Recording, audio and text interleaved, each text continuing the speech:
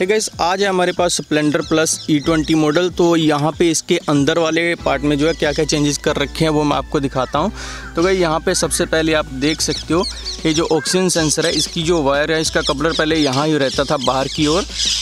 लेकिन अभी जो है इसका कपलर ये अंदर की साइड आप देख सकते हो। तो भाई ये जो कपलर है, ये आप देख सकते हैं, अभी थोड़ा अंदर की साइड लगा रखा है, जो कि थोड़ा सेफ़ अभी लगता है। पहले बाहर ही होता था ये तो वो थोड़ा सा जो है अनसेफ लगता था। तो सबसे पहले चेंजेस तो मेरे को ये देखने को मिला।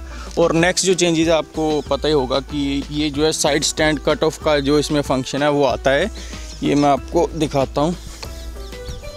देख सकते हो, अभी साइड स्टैंड पे है, लेकिन न्यूट्रल है तो बाइक हमारी स्टार्ट हो सकती है।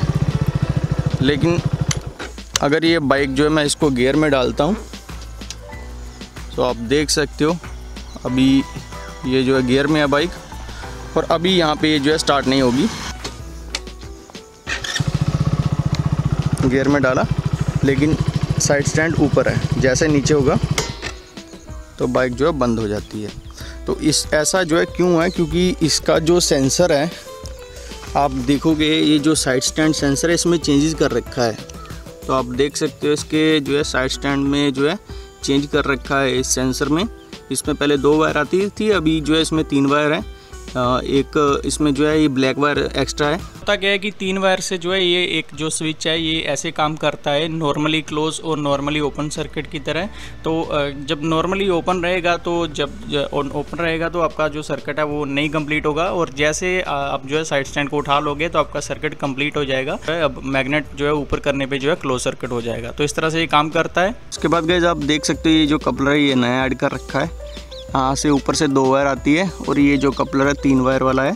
तो ये एक्चुअली फ्यूल पंप का कपलर है। अगर आप इसको निकाल दोगे कपलर को तो आपका बाइक का जो फ्यूल पंप है फ्यूल मोटर है, वो काम कर, नहीं करेगा। तो ये कपलर जो है, बाहर ये भी दे रखा है। पहले क्या होता था कि इसको चेक करने के लिए टंकी को उठाना पड़ता था। अभी ऐसी कोई ज़रूरत नहीं है। यहाँ से ही आपका जो फ्यूल पंप की मोटर है, वो आप चेक कर सकते हो। इसी के साथ ही गैस इसका जो जो इसका ओबीडी पोर्ट है, वो भी यहाँ पे ही दे रखा है। यहाँ पे एक छोटी सी पत्ती है बस उसको जो है उसी के साथ ही इसको जो है ऐसे करके दे रखा है। ये बस ऐसे ही है।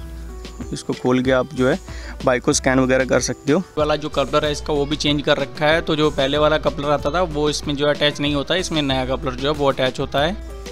और ऐसे करके यहाँ पे एक पत्ती है वहाँ पे ये जो है अटक जाता है बस। और कुछ नहीं है ये ओपन ही है अभी।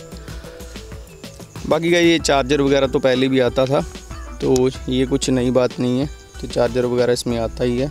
लेकिन गाइज़ यहाँ पे जो फ्लैप है इसका, वो उसको जो है चेंज कर रखा है। पहले जो है छोटा सा फ्लैप आता था सिर्फ़ ऊपर ही, लेकिन ये पूरा ढक के रखता है आपकी वायरिंग वगैरह को तो ये एक अच्छी बात है।